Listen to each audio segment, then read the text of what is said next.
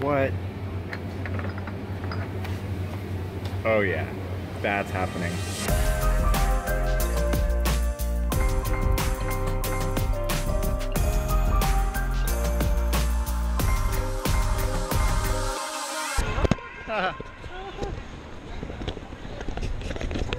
Can't forget this.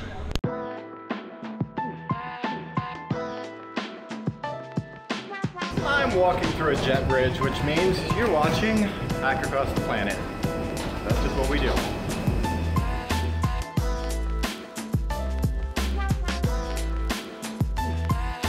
Beautiful Airbus A320 and my first ever flight on Citilink. So I'm aboard my A320 on Citilink, which means it's obligatory airplane trivia time. So that's what we do here. This A320 is part of a family, including the A318, 319, 321, and basically it's a huge competitor by Airbus to the uh, Boeing 737, and it's kind of killing it. Um, and I don't know, other esoteric details, it happens to be about 10 inches wider than the 737 and it makes noises when they turn on the fuel pumps to turn on the other engine. And this is Citilink as opposed to Garuda, which I told you guys last week is the only airline you should fly in Indonesia, but this is actually owned by them, or at least used to be, and is one of the other airlines that's allowed to fly in the EU, which bodes well. Okay, that's been enough trivia. They like green here.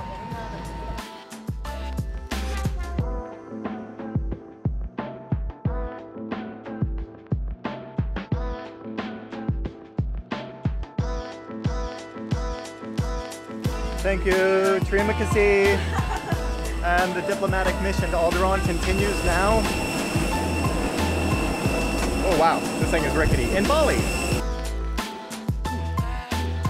I'm gonna be on that one soon.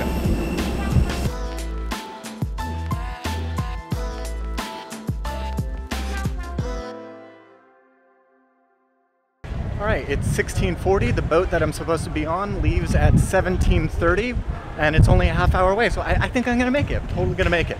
That's gonna happen. No matter what, it's gonna be good.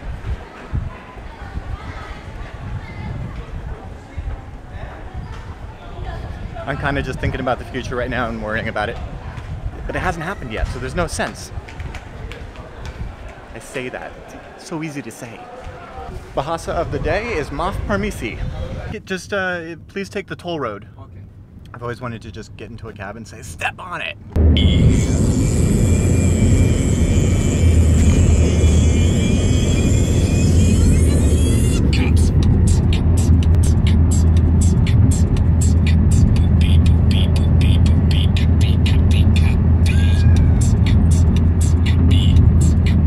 It looks like I might actually make it to the boat in time. Uh, just kind of stuck in Bali traffic, but doing my best, as in I'm sitting here and accepting that all that is is what is, and I don't have any control over the situation. Especially when I pasted instead of copying in this document and accidentally overwrote all of this stuff in Google Keep on my phone, and then I lost like some important phone numbers because there's no undo. And I would hit Control Z, but again, it's Android. I have no control. So one of the cool things about Bali is anyone can lane split. It doesn't matter what kind of vehicle you are. You could be like a, a scooter or a pedestrian or a car or a lorry or a, you could be a tractor. Fucking tractor.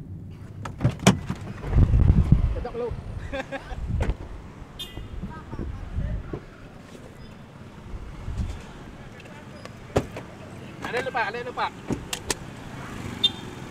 Ow! Oh, sorry, sorry. I got another one. Five thirty, quick, quick, quick. Okay. Streets are for cars and motorcycles and pedestrians and chickens and everything in between. I can't believe it, I'm that guy. I'm that guy with a sticker on my chest and um, a roller board on this.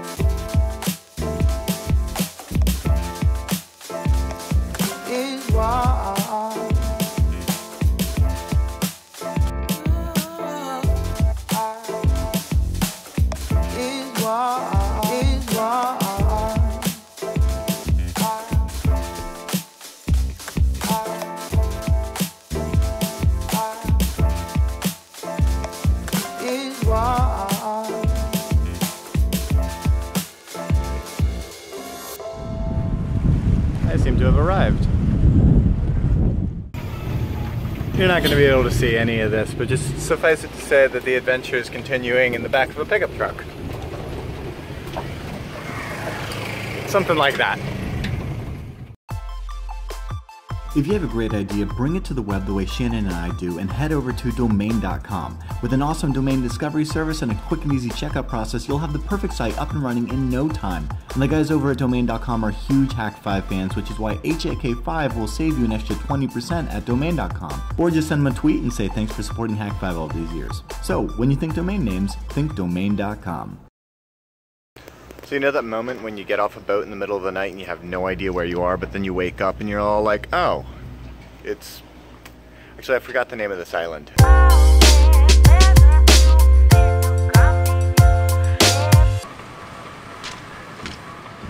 Hey, sorry to interrupt the episode, and I hope it's not too windy.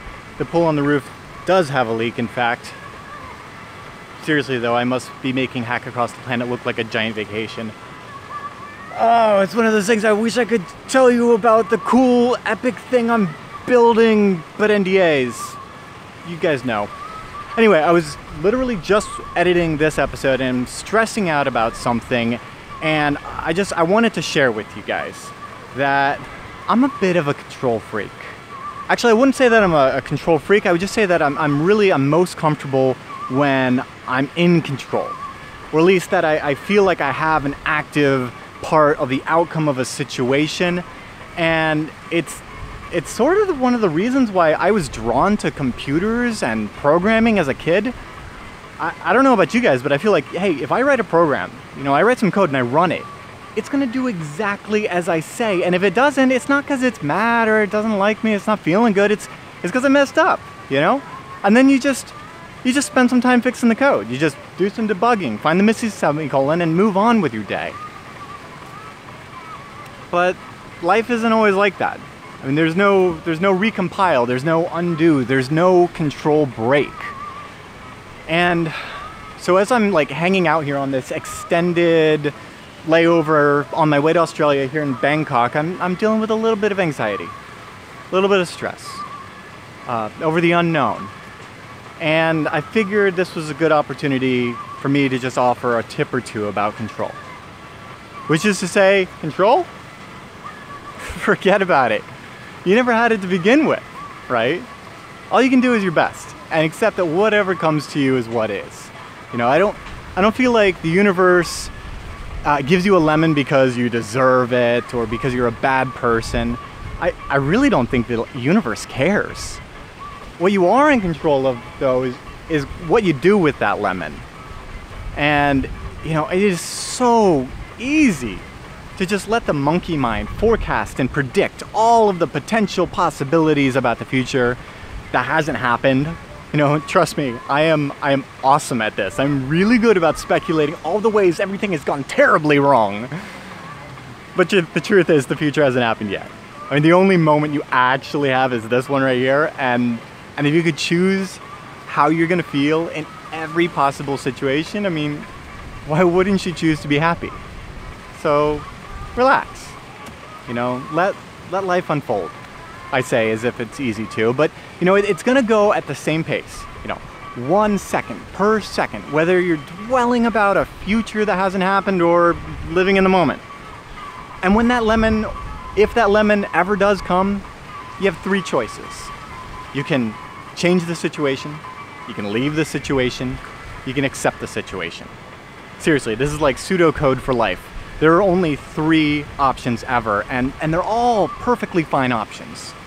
You know, if you can't change it, well, you can either leave it or accept it. And if, if the circumstances are such that you just you can't change it and you can't leave it, then you don't have a choice. You just gotta live with it. That's the one that I have the hardest time with. Really, I, I have I have such a terrible time accepting what is. Just surrendering to what is. And as it turns out though, surrender surrender is a good thing. You know, surrender there's nothing wrong with it. It doesn't mean you're weak. It actually means quite the contrary. You are strong, right? It's it's in those moments that you find yourself where you, you have to do nothing more than just accept what is and surrender to what is. Just just remind yourself of what you do have control over. And remember to breathe. And if you're anxious or depressed, just, you know, eat well, sleep well, take time for yourself, and don't drink alcohol. Um, just hack your happiness.